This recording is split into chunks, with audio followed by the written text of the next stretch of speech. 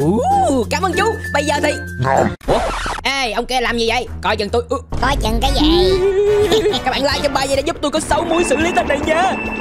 Chuẩn bị đây ê sao ngứa quá vậy? Nhìn ráng liền. Ừ.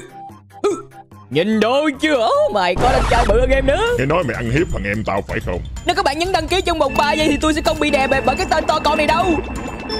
Cha mình to lên rồi.